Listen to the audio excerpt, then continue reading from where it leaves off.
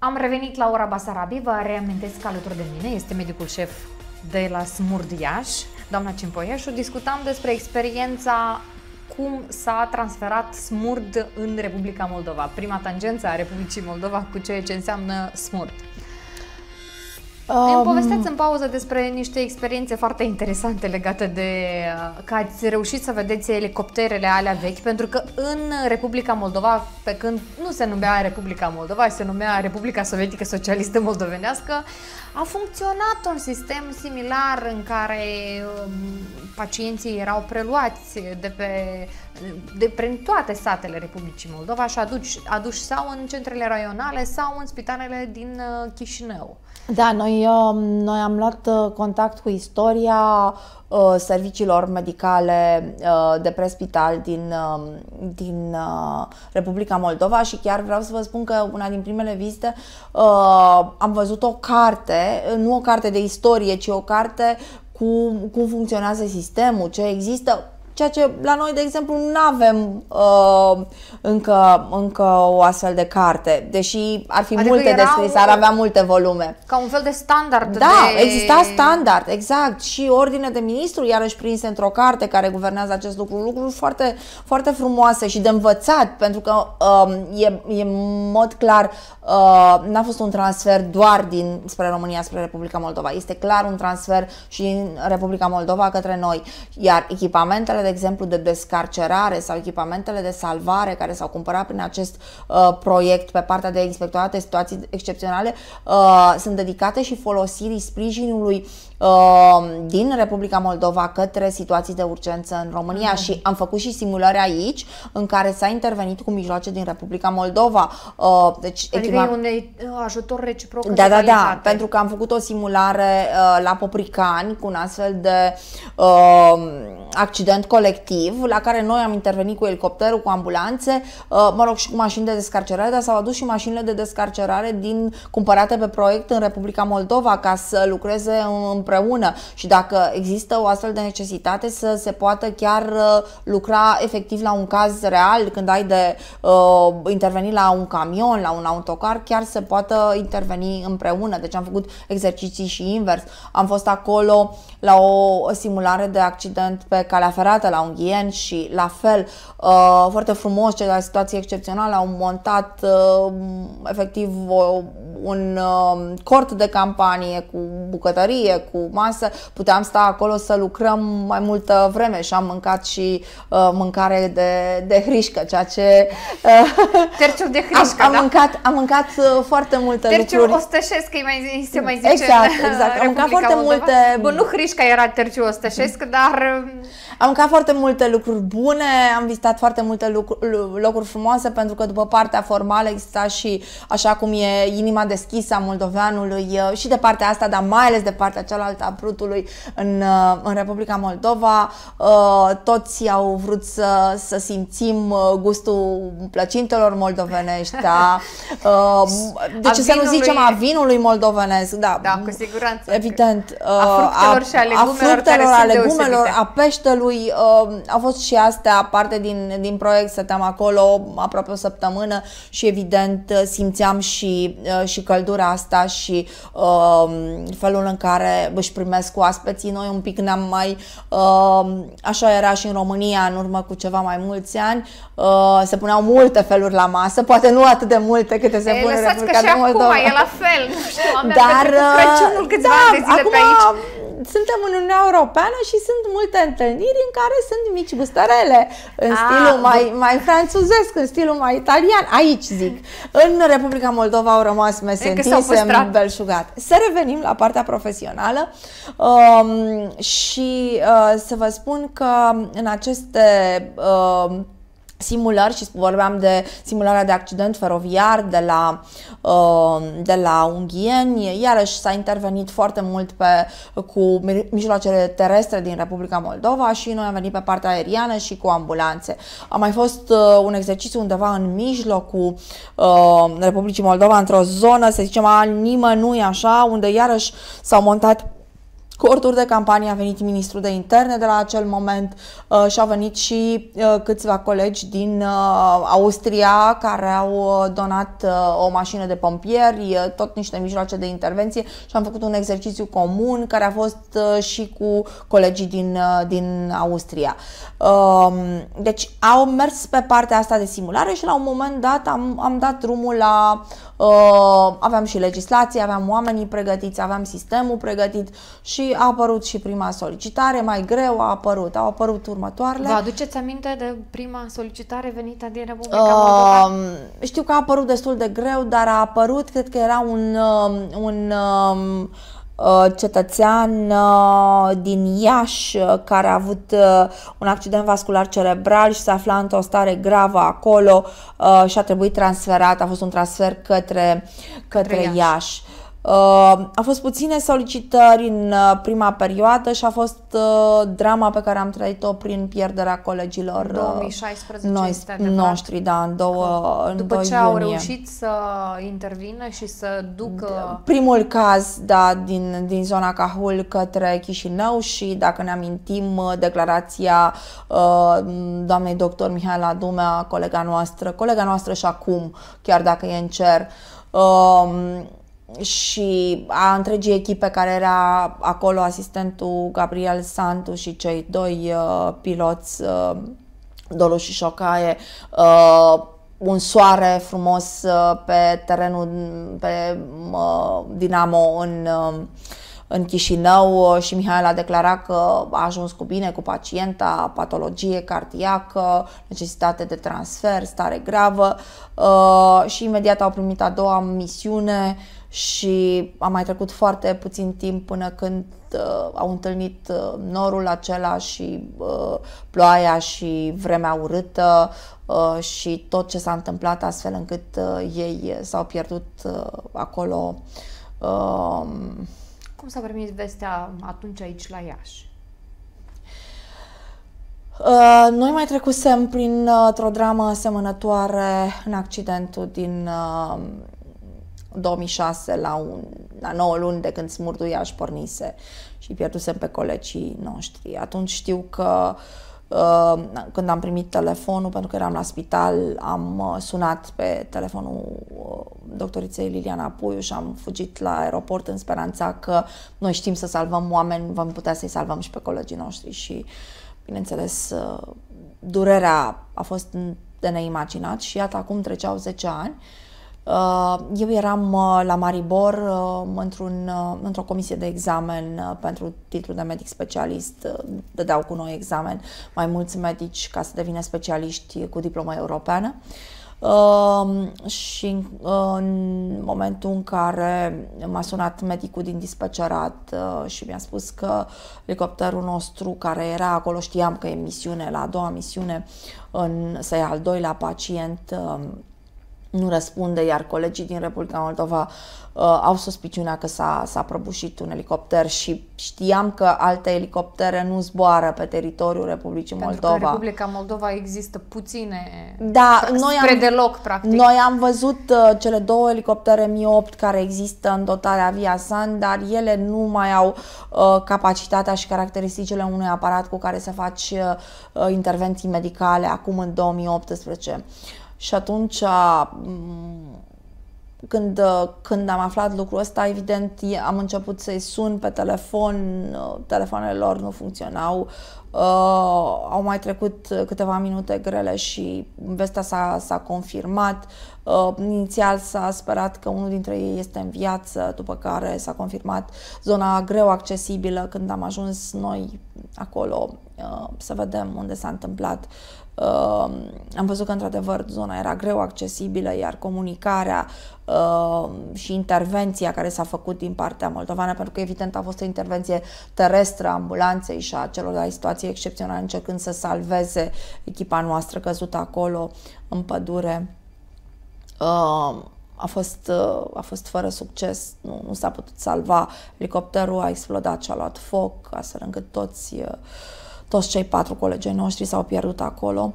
Uh, ce să vă spun, sunt momente pe care nu pot să le, să le descrii, durerea e prea mare pentru fiecare uh, dintre noi, colegii și bineînțeles și pentru familiile lor.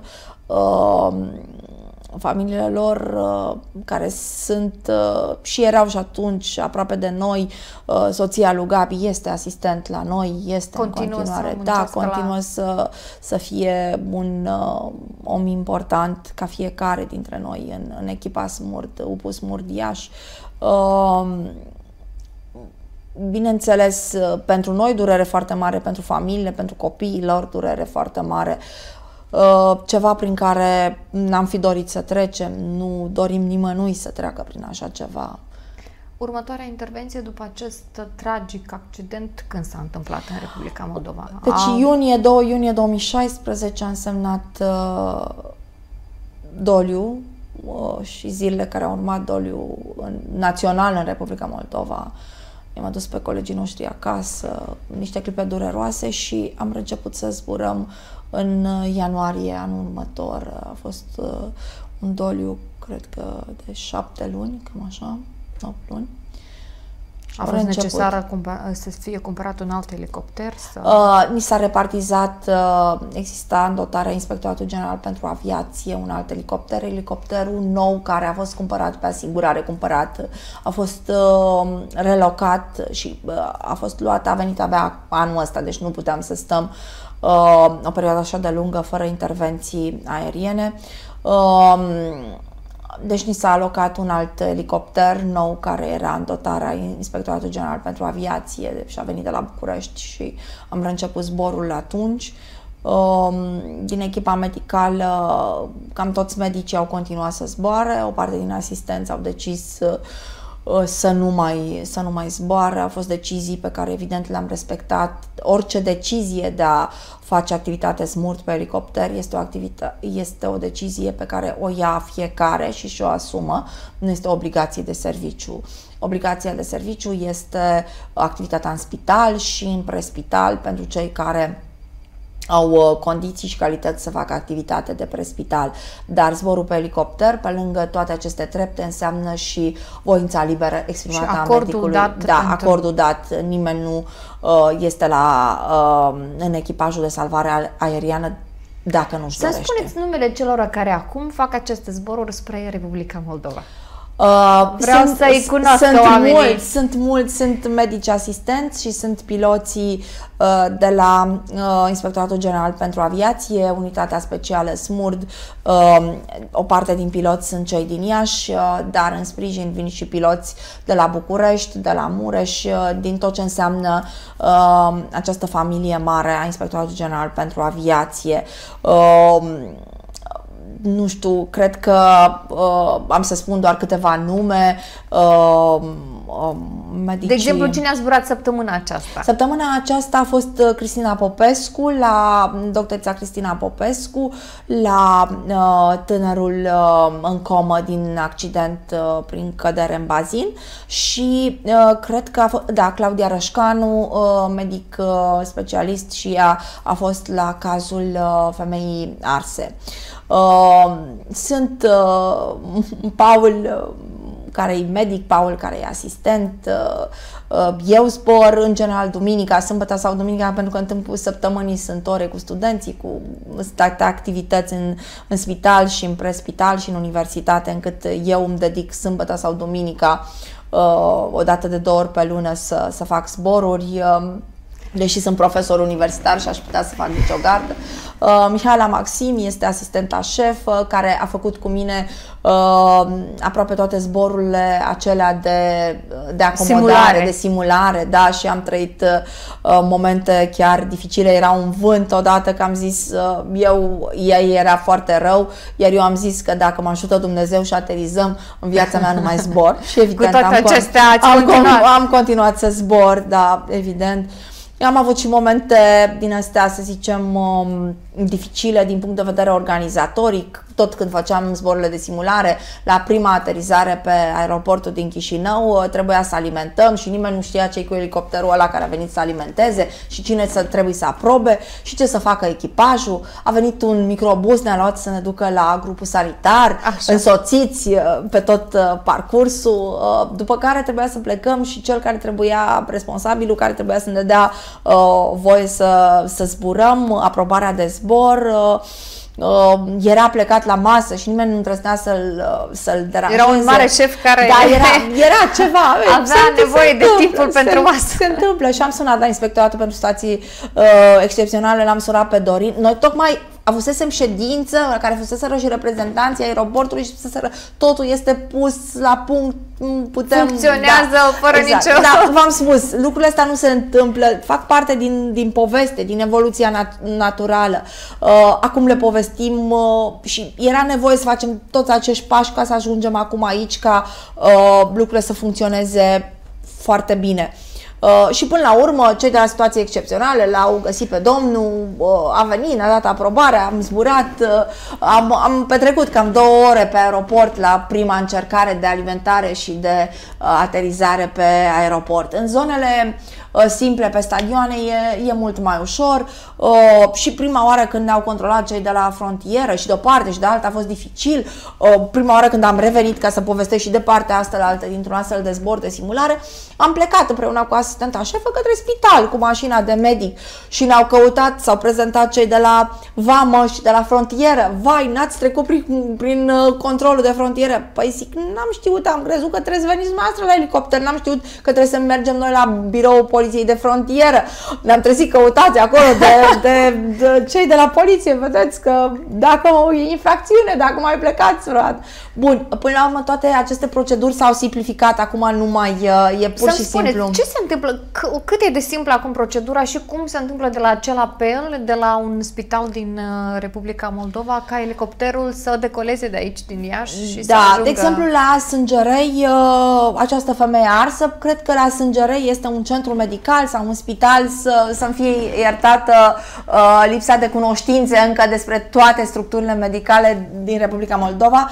Uh, deci probabil de la spitalul de acolo sau de la centru medical s-a făcut un apel către Chișinău, către dispeceratul uh, Aviasan de la Chișinău. Ei sună uh, direct în dispeceratul nostru, medicul nostru și a datele medicale, deci este vorba despre o femeie, arsură 40%, uh, stare gravă, șoc, Uh, care trebuie are aviz de transfer la uh, spitalul, uh, cred că spitalul regional sau republican Re, din, spitalul republican, republican din, din, uh, din Chișinău.